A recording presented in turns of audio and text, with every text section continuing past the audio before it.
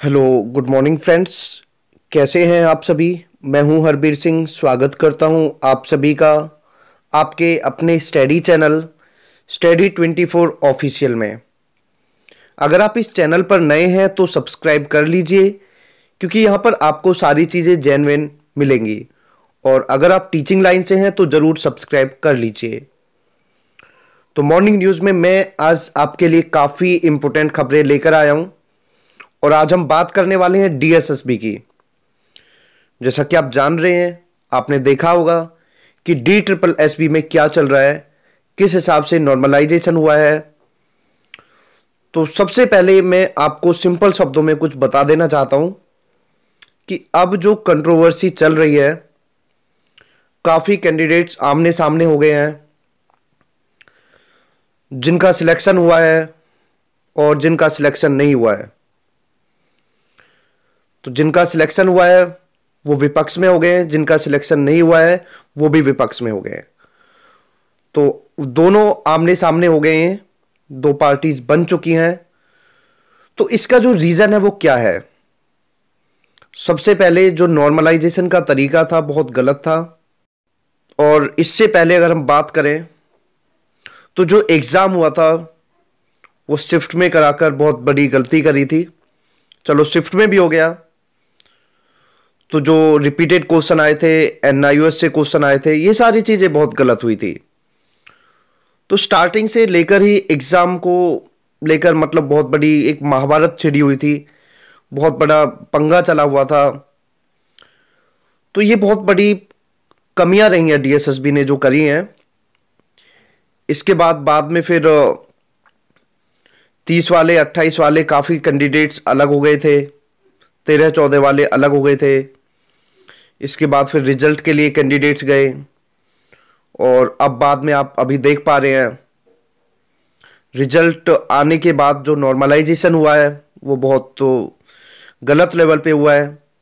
काफ़ी ऐसे कैंडिडेट्स हैं जिनके अच्छे मार्क्स बने, उन्हें वो बहुत अच्छा लग रहा है।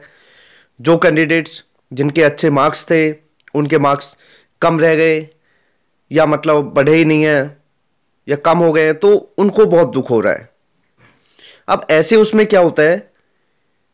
जो चीज़ मैंने रियलाइज़ की है कि ऐसे उसमें वो कैंडिडेट्स भी आगे आते हैं जो इस कंपटीशन से बहुत ज़्यादा दूर थे। और इसकी जो गलती मैं मानता हूँ, वो डीएसएसबी की है, क्योंकि ये सारी जो चीज़ें क्रिएट हुई हैं डीएसएसबी की वजह से हुई हैं।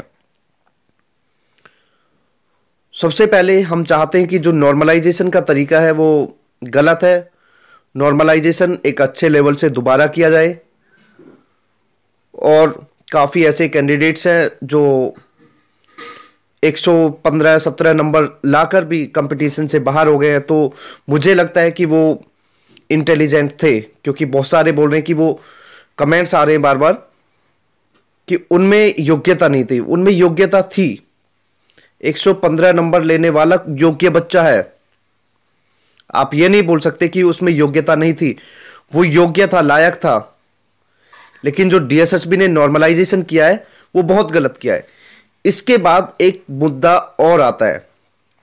इसमें जो मुद्दे उठ रहे हैं, बहुत सारे उठ रहे हैं। एक मुद्दा ये आता है कि 30 तारीख वाला 30 सितंबर वाला जो एग्ज़ाम था, उसमें रिपीटेड क्वेश्चन किस एंगल से डिलीट कर दिए? वो तो पहली शिफ्ट थी। उसमें कौन से रिपीटेड क्वेश्चन आ गए? बच्चों के लिए तो सारे क्वेश्चन नए थे वो। अब उसमें से रिपीटेड क्वेश्चन कौन से आ गए? ये सबसे बड़ी गलती है। रिपीटेड क्वेश्चन का मतलब होता है कि जो क्वेश्चन रिपीट हो, पहली ही शिफ्ट में किस कहाँ पे एग्ज़ाम हुआ ऐसा, जिसमें वो डिलीट करे हो। कहीं नहीं होता। ये बहुत गलत सिस्टम हुआ है। तीस वाली शिफ्ट में डिलीटेड क्वेश्चन जो रिपीटेड क्वेश्चन है, जो डिलीट किए हैं, बहुत गलत करे हैं। वो नहीं होने चाहिए थे। इसके बाद तेरह, चौदह, अट्ठाईस इवन तीस में भी। अब तीस वाली शिफ्ट में एक बच्चे के नाइन्टी फाइव मार्क्स थे। वो भी कंपटीशन से बाहर है। अब एक बात बताओ, तीस वाली शिफ्ट में जैसा मैं पहले से ही बोलता आ रहा हूँ कि तीस वाली जो शिफ्ट है, वो और की तुलना टफ थी। और अगर उसमें कोई 95 लेके आ रहा है तो क्या वो लायक है या नहीं है, मैं आपसे जवाब चाहता हूँ। मैं ये नहीं कि किसी एक के पक्ष में हूँ। मुझे पता है कि कुछ भी होता है तो नुकसान भी होता है, फ़ायदा भी होता है, लेकिन सच हो। क्योंकि जो ये भर्ती में ये कर रहे हैं नॉर्मलाइजेशन दोबारा होना चाहिए बिल्कुल। और आप लोग अगर सच्चाई से, ईमानदारी से सोचे तो ज़रूर होना चाहिए। क्योंकि जिसके बीस बीस नंबर बढ़े हैं, उसे तो बिल्कुल बुरा लग रहा होगा कि सर क्या बोल रहे हैं। एक मुद्दा और उठाया जा रहा है। कि जो जनरल की वैकेंसीज होती हैं, वो फिफ्टी परसेंट के अराउंड होती हैं, लेकिन वो इसमें थर्टी सेवन परसेंट के अराउंड जनरल की वैकेंसीज दे रखी हैं। तो ये भी एक मुद्दा उठाया जा रहा है। और काफ़ी ऐसे कैंडिडेट्स हैं जो, जैसा मैं देख रहा हूँ, उनको क्या है कि बीस बीस पच्चीस पच्चीस तीस तीस नंबर फ्री में मिल गए हैं। तो उनको तो बड़ा दुख हो रहा है। मैं आपको बताऊँ इस एग्ज़ाम में जो बच्चे होशियार हैं, वो कुछ नहीं बोल रहे। उनको पता है कि नॉर्मलाइजे नॉर्मलाइजेशन दोबारा भी हो जाएगा तो उनको क्या दिक्कत है? लेकिन जो ऐसे हैं, जो पॉइंट पे थे और उनके मार्क्स बढ़ गए, वो तो बड़े दुखी हो जाएँगे। तो साथियों, बहुत गलत हुआ है और इसके रिगार्डिंग हमसे जितना भी पॉसिबल होगा, हम करेंगे। हम एग्ज़ाम कैंसिल होने के पक्ष में नहीं है। अब कौन क्या कर रहा है, कौन कहाँ घूम रहा है, वो सारी चीज़ें अलग है। मैं किसी की गारंटी नहीं ले सकता। और मुझे दुख इस चीज़ का होता है कि जब आप लोगों के साथ हम रिज़ल्ट के लिए घूम रहे थे, वो चीज़ आप भूल गए।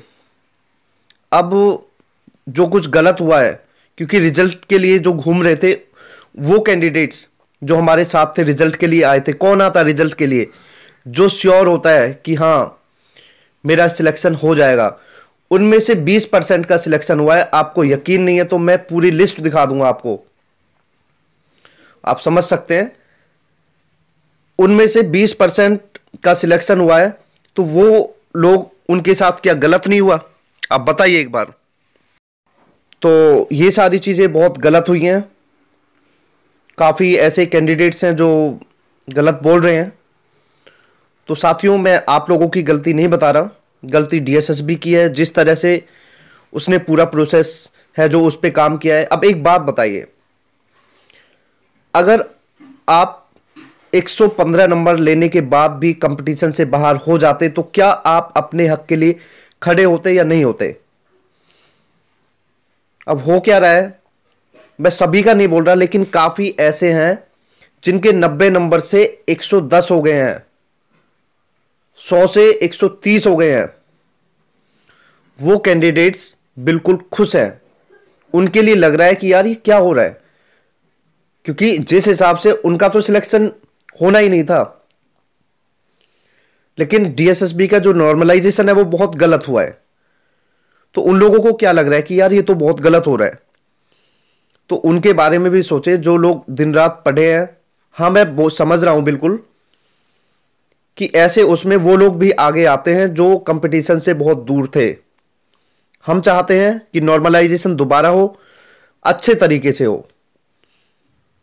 और जिस जो लायक है, उसे हक मिले, जो रह गए हैं। और एक ही शिफ्ट में लगभग सेम सेम मार्क्स वाले मैंने कल आपको बताया था। तो ये गलत है। हालाँकि जो पहले काफ़ी कैंडिडेट्स थे रिज़ल्ट के लिए जाते थे। उनमें से ट्वेंटी परसेंट अगर पास हो रहे हैं एट्टी परसेंट जिनको पूरा यकीन था, उनके साथ क्या हुआ है? जो बंदे मेहनत कर रहे थे, घूम रहे थे। तो ये सारी चीज़ें बहुत गलत है। और होता है क्या है?